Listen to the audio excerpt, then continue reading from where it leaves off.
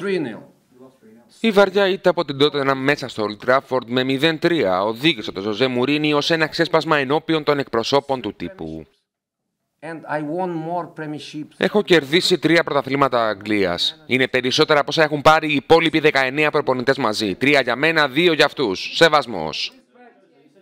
Respect, man. Respect, respect. Πριν εγκαταλείψει την αίθουσα πάντως, φρόντισε να τα ψάλει στους δημοσιογράφους.